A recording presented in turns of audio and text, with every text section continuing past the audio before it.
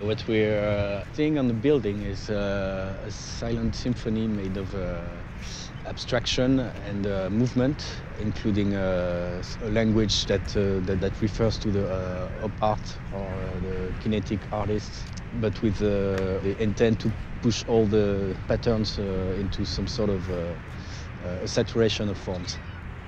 All computer-based, starting from this straight single white line that's been repeating echoed to create these waves and blend into one another, overlapped uh, to create symmetries and all these moires and uh, until uh, we get these sort of explosions of lines and uh, that sort of climax of pattern. You, you come from the other side of the river and you have a, a remote view and you can see quite a lot. Well, once you're on the dock near the building, you can see only one bit at a time. So yeah, it takes uh, quite uh, a walk around to, uh, to uh, see what's actually going on. I think I pushed to the limits of my own equipment because I'd never seen that before.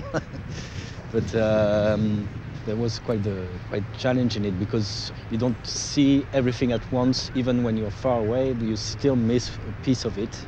Uh, so it, it's divided the, the, sequences, the movement into the three uh, facades and having the, those patterns uh, running through each of, of those uh, faces, let's say, uh, and answering to one another and sometimes taking the whole of the, of the building, yeah, transform the building into some sort of yeah, explosion of light in the end.